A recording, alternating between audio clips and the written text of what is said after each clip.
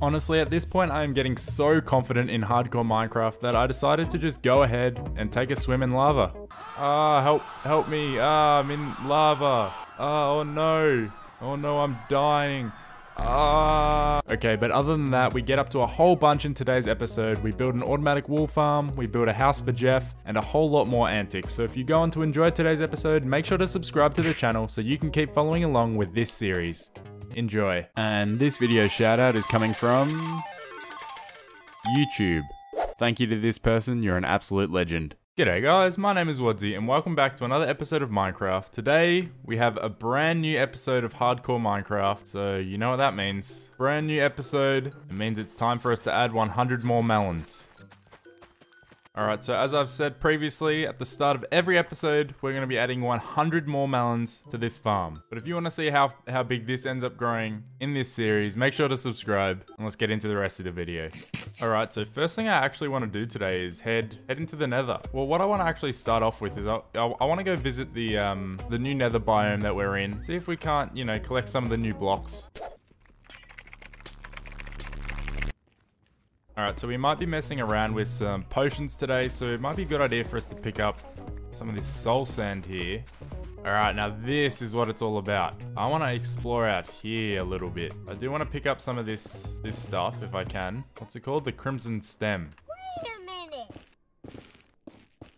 Alright, let's hope I don't get lost. These guys are not happy to see me. Oh my god! Oh, dude, oh my god! Oh god, oh no. What have I done?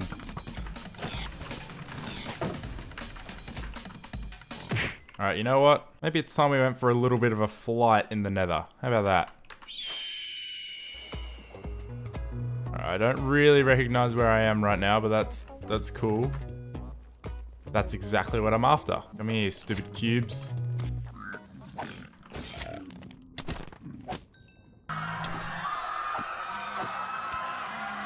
Other than that, I'm also looking for some soul sand, I guess. We can farm some more nether wart. What the hell? Get out of here. Oh, another big cube. Give me a cube. Yeet. That's 16 magma cream now. Hello. I'm kind of lost. I think I'm going to fly back. Alright, I think I've got everything I'm going to need. Actually, no. Quartz. I'm also going to need some quartz. Alright, so first things first, I want to start a bit of a nether wart farm. Um, I'm not really sure if nether wart needs light to grow or not, but you know, I'll just chuck these torches down here. Next thing we need is a pool of water. And a couple brewing stands. Alright, that makes our very ugly potion room. Alright, but obviously before we can make any potions, we're going to need some glass bottles. So let's go get some sand. Let's just tell me I have glass. Actually, I do have glass just laying around, don't I? There we go. That'll do. Six bottles. That's all we need for now. Alright, so step one to every potion is we need to fuel it up. And we need to add nether wart. We'll do that to both of these. Now, what two potions do I want to make? All right, so now this is all done. We've got our awkward potions. And the reason I grabbed this magma cream is because I actually want to make some potions with that. So that's the first thing we'll do. Magma cream to these. And also I'll do a puffer fish. Whoops. A puffer fish to these. And we'll see what that makes. All right, so they're all done. Potion of fire resistance we now have. And these ones gave us potions of water breathing, but they're not quite done. We'll add a bit of redstone to each. As you can see, the duration of these are at the moment only three minutes. Now that's done, eight minutes. Tell you what, potions are actually so cheap. I never really realized. But that did not cost us very much at all. We now have potions of fire resistance and potions of water breathing. Right now, obviously, I want to test this out in a controlled environment. I'm pretty sure fire resistance potions make you entirely resistant to fire and lava and stuff. But I'd be stupid to literally just go jump in the deep end. So let's see. We've got our fire resistance on. Legit, we're just we're just chilling in lava right now. Look at us. This is sick. All right, hang on, hang on. Let's go vibe in the nether real quick. Ah, help, help me. Ah, I'm in lava. Oh boy, do I love hardcore Minecraft. This is so cool. Oh, this is so stupid. I mean, what what is the real... Fire resistance potions are going to be so important to me whenever I'm exploring the nether from now on because they're just going to be a lifesaver. If I ever fall in lava, just pop one of these and what do you know? I can literally just be in lava for, you know, as long as this potion's on. This feels... This feels wrong. Alright, now it's time to test out our other potion. Alright, so you know, typically you go underwater in Minecraft. You know, your bubbles, they go down, they go right down. And oh no, you, you start you start taking damage. Not good, right? Well, now you see, you drink your, your water breathing potion. You now have 8 minutes of water breathing. Would you look at that? Your bubbles never go down. Um, but now that we've messed around with those two potions, let's go have a look what other potions we can make. Alright, now potions of slow falling are now done. Let's add a bit of redstone to increase their duration. Our speed potions are done. Let's add some glowstone to actually, to make them level 2. There you go, speed 2. So now we've got our potions of slow falling and our potions of speed. First of all, this one should bring you no surprises. It just makes you fast as hell, which is cool. It's like you got a beacon on or whatever. I like it a lot. My FOV is going crazy right now. I'm sorry. I know you guys hate how high my FOV is, but geez, I'm fast. I am speed. All right, so that's the potion of speed. It's really not that useful, but it's just kind of cool to be able to run fast. Um, but now for a more exciting potion, we got the potion of slow falling, which I mean, does exactly what you would expect. It, it, makes you fall slower. So this is this is my first actual test of it. So let's let's see how it goes. Wow, it, it really does make you fall fall slow. I feel like I'm walking on the moon. Oh, you can't really jump. I guess your jump is still kind of the same. You just fall really slow afterwards. Oh no, we're so high up. I hope I don't fall. Oh my god! Whoa. Wait, you actually kind of pick up speed with this, don't you?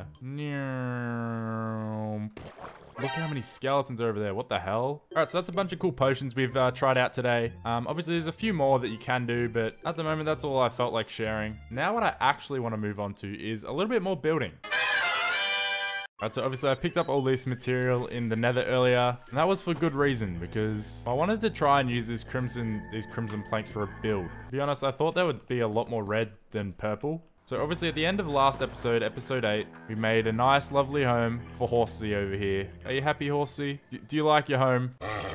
But to make it fair for all my animals in this world, I thought we'd better make a little bit of a, a house, a kennel for Jeff.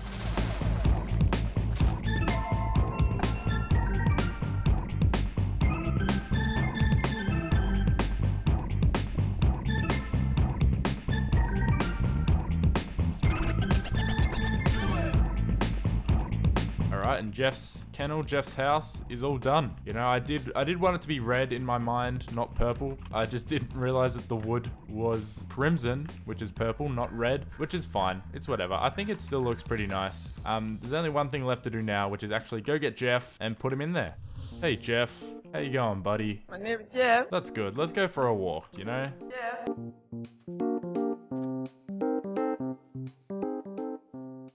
Alright, Jeff, welcome to your new home. Come on, in you come. That's it. Look at him. He looks so happy. Alright, I think things are kind of starting to come come together around here, you know? We got Horsey in his house, Jeff in his house, my house here. And if I actually come up here and fly around for a bit, you can actually see it's starting to look pretty sick.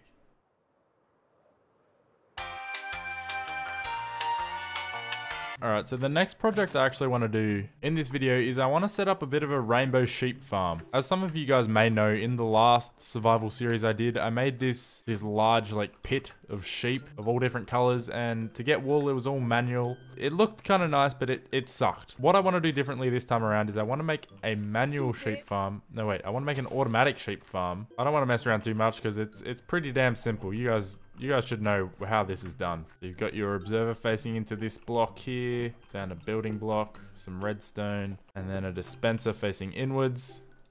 Shears in the middle. Some stained glass. Alright, then you just gotta go underneath. There's a chest here. Hop it into the chest. Rail on top. Hopper with rail on top. And then now, any blocks that you drop in the middle of that thing will get pulled through and put into this chest.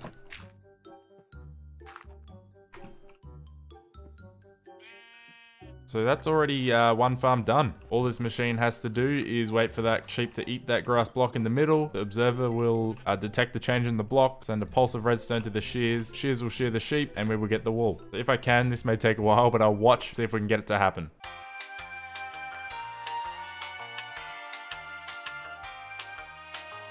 Oh, here it is. Perfect. It's working absolutely perfectly. And I won't show you guys me making all of these, but just know I'm going to make one of these for every color of wool you can get. Um, so I'll be back with future updates. 2,000 years later. Alright, so as you can see here, majority of this is done or ready. You know, we've already started getting a bit of wool from our sheep here, but we're actually missing two of the dyes. We're missing green and brown dye, which is stopping us from making four of the colors. So now we're actually going on a bit of a journey to find those dyes. Alright, and uh, here, here we go. So I didn't have much of a strategy other than just flying in one straight direction in hopes of eventually running into a desert or a jungle biome. So here's how that went for me. Well, well, well, would you look at that? Found an ocean monument. Not that I'm uh, in any way ready to go look at it, but we know it exists. See, a lot of you guys always ask me for my seed and stuff. I don't know why the hell you would want it. Seed sucks. I've literally just flown in a straight line and seen like four different biomes, that's it.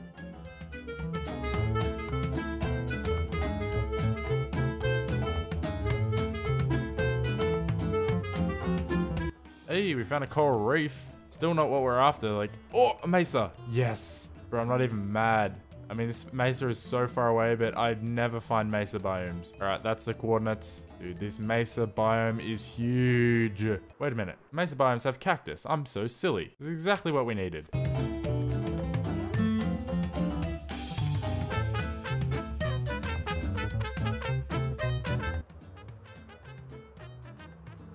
What?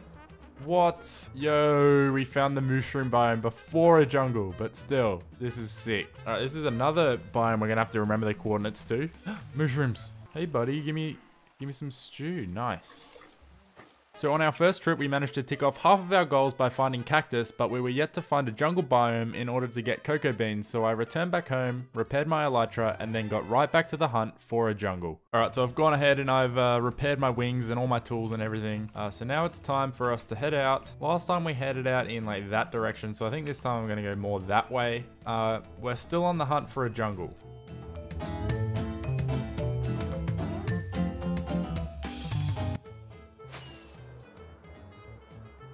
Wait a minute. Wait, wait, wait, wait. This is jungle, right? Dude, this is actually... Why didn't we just go this way to start with?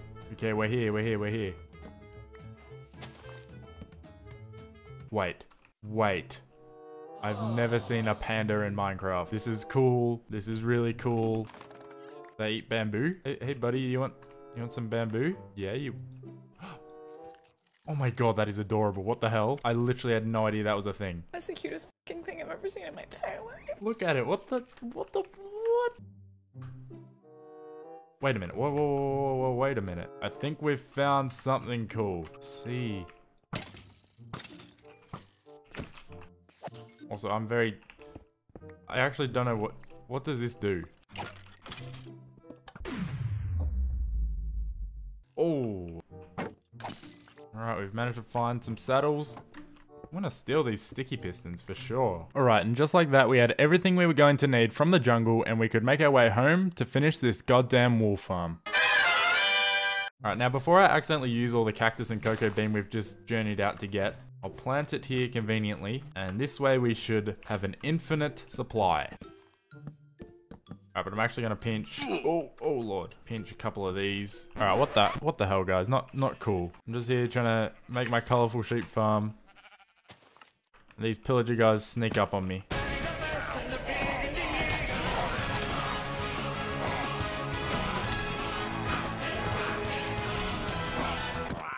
That's what you get for messing with me. Alright, now this is a momentous occasion. The last sheep. Up you come, bud. Up you come. There we go.